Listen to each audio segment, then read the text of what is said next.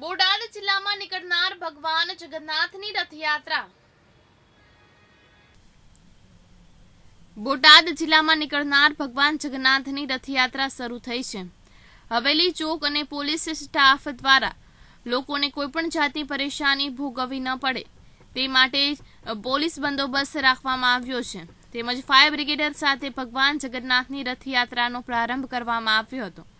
ભગવાન કૃષ્ણ બળભદ્રજી તેમજ બહેન સુભદ્રા આજે બોટાદ શહેરના આંગણે નગરચર્યાએ નીકળ્યા હતા. દર્શન કરી લોકોએ ધન્યતા અનુભવી હતી. કેટીવી ન્યૂઝ ગુજરાતી સાથે જગદીશ મારુ અને દિલીપ ચાવડા, બોટાદ.